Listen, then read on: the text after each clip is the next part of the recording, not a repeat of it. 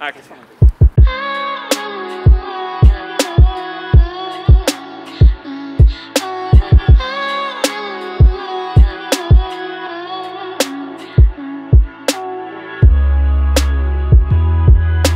No i moim zdaniem to jest fajne. Jest takie dynamiczne. Dzień dobry moi drodzy. Dzisiaj cofamy się o jakiś miesiąc do tyłu i opowiem wam, co robiliśmy na początku grudnia.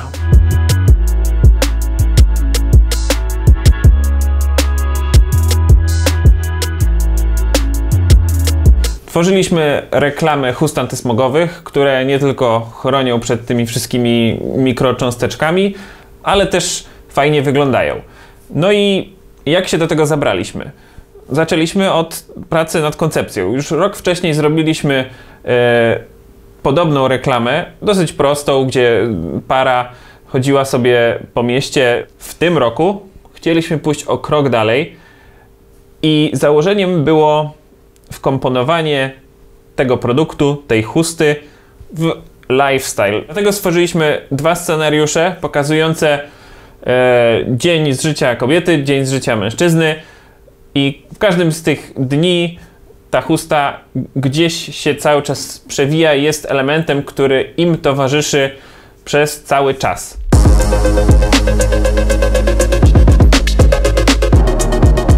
Gdy wymyśliliśmy sobie już taki wstępny koncept i opracowaliśmy scenariusz, wiedzieliśmy mniej więcej, co nasze postacie będą robić, wtedy, zanim napisaliśmy sobie dokładny scenopis, czyli ujęcie po ujęciu, jak to wszystko będzie wyglądać, to najpierw stworzyłem sobie taki wstępny montaż. Ściągnąłem różne materiały referencyjne, które nas inspirowały, które wyglądały podobnie do tego, co chcielibyśmy osiągnąć. Z różnych źródeł, z YouTube'a, z Shutterstocka. Na tym etapie znaleźliśmy podkład muzyczny do tych materiałów i pod niego zmontowaliśmy całą naszą reklamę właśnie z tych referencyjnych materiałów. Co nam to daje? Daje nam to, że to, co nam się wydawało na etapie scenariusza i myślenia w głowie, możemy rzeczywiście sprawdzić, czy ten rytm, czy dynamika, czy te ruchy, czy to wszystko się zgadza i tworzy razem fajny montaż. Więc jak już mieliśmy takie dwa referencyjne filmy, mogliśmy je wysłać do akceptacji, zrobić jakieś poprawki i na ich bazie opracować sobie dokładny scenopis, który potem służył nam e, do odhaczania sobie wszystkiego po kolei, co już mieliśmy zrobione na planie zdjęciowym.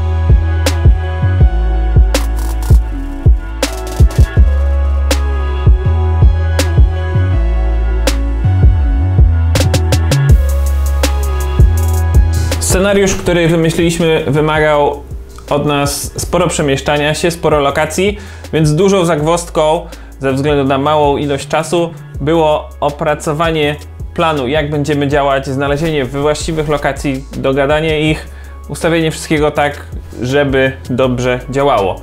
Preprodukcja, no to jest podstawa, żeby po prostu skutecznie zrealizować swoją wizję, bo jak się tego nie przygotuje i potem się szyje już na planie zdjęciowym, no to może być różnie.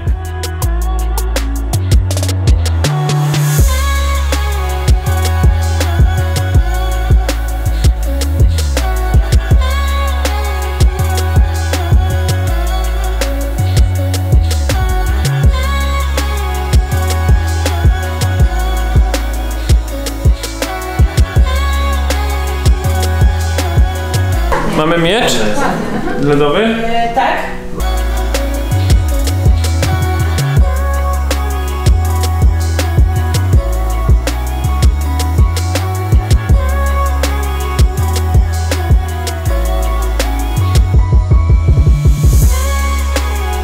No pięknie. Zróbmy jeszcze raz.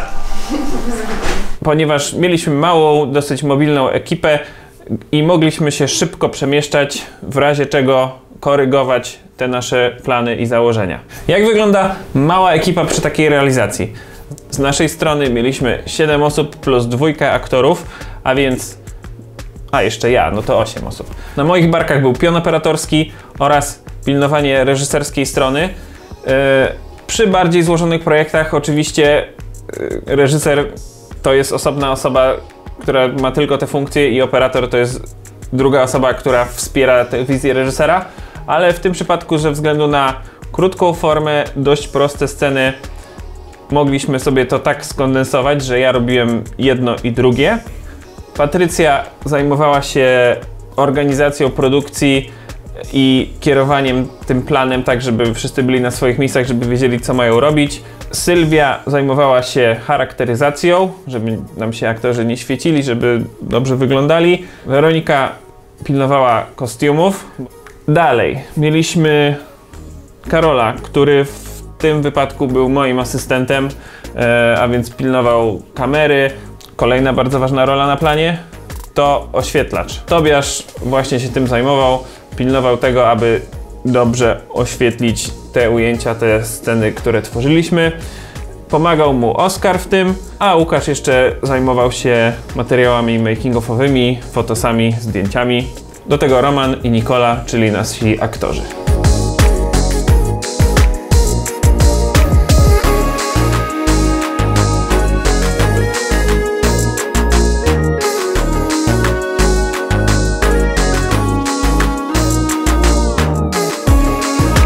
Ciekawostek dla tych, którzy lubią informacje na temat sprzętu, to wszystko realizowaliśmy kamerą RED po to, aby później w postprodukcji móc sobie fajnie popodkręcać, powyrównywać wszystkie kolory. Było to dosyć ważne, po pierwsze, żeby pokazać jak wygląda chusta, strukturę materiału, żeby dało się wydobyć e, w 4K, a po drugie, żeby dało się wyrównać te ujęcia, które były robione w ciągu całego dnia z różnym, w różnych lokacjach, w różnym świetle, e, aby móc to wszystko zrównać do jakiegoś poziomu.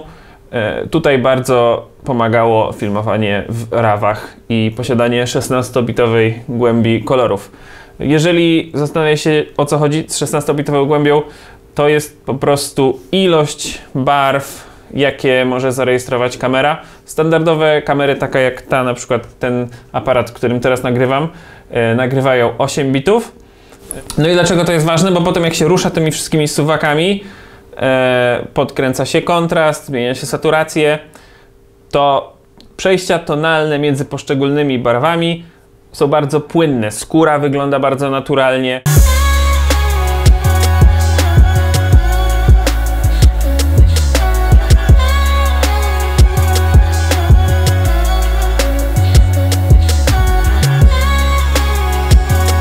Sama postprodukcja to można powiedzieć podłożenie tych ujęć, które nagraliśmy pod ten montaż, o którym wspomniałem wcześniej, e, ujęć referencyjnych. Oczywiście są pewne zmiany, bo nie wszystko wychodzi jeden do jednego. Wpadamy też na nowe pomysły już w trakcie zdjęć, które mogą być naprawdę super. Filmy, które stworzyliśmy, możecie zobaczyć, linki są w opisie. A jeżeli chodzi o samego mojego vloga, to w tym roku będzie on wychodził w weekendy. Tak mi jest łatwiej to ogarnąć logistycznie. Więc śledźcie, subskrybujcie, klikajcie w dzwonki. Niech ta społeczność rośnie. Jeżeli macie jakieś konkretne pytanie dotyczące tego typu realizacji, piszcie w komentarzach, ja chętnie odpowiem. No i zaglądajcie oczywiście na Instagram i na naszą stronę www.asfstudio.pl. Tam e, dużo też różnych fajnych, fajnych rzeczy. No i to tyle, nie przedłużamy. Lecimy dalej, robimy ciekawe rzeczy. Wy też róbcie. Do zobaczenia.